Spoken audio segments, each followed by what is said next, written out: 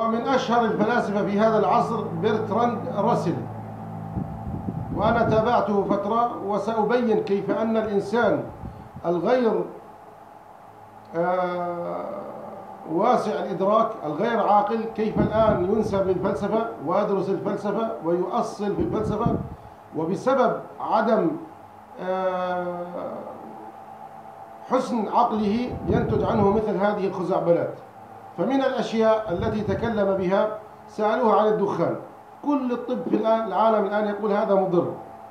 فقال أنا كنت أركب الطيارة في إحدى المرات وقالوا من يدخن يجلس في منطقة معينة. فتحطمت الطائرة ونجوت أنا والمدخنين. فحكم فبسبب هذه الحادثة حكم على هذا الشيء الضار بأنه حسن.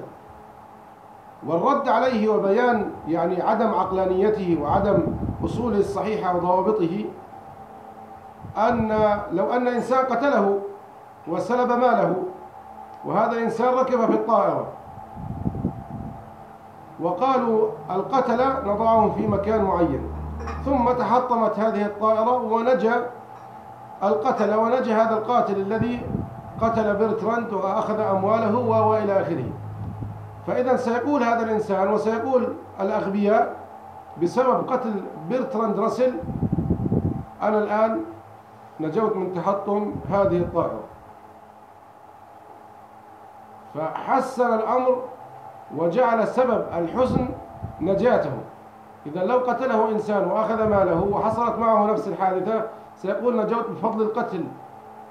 فالتحسين والتقبيح بهذه الصورة يبين الخلل في عقل الإنسان. وله حادثة أخرى قال أن الجنة والنار خرافات. ما المانع في الدار الآخرة أن تكون جنة ونار؟ الذي خلق هذه الجنات والذي خلق هذه النيران يستطيع في الدار الآخرة أن يخلق الجنات والنيران. ما المانع؟ العقلي بما أنه يتكلم في العقل.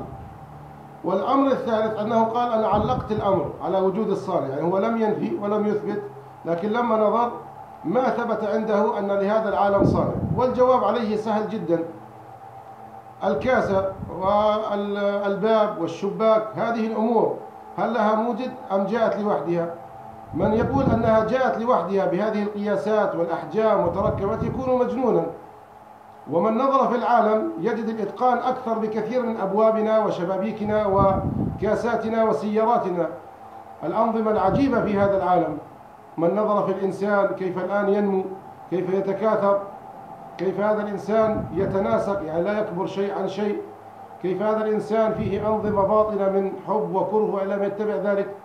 وفي العالم أمور عجيبة. إذا من حكم هذا الحكم ولم يستطع أن يحكم بأن هذه الحوادث لابد أن يكون لها محدث إذا هذا الإنسان لا يكون عاقلا.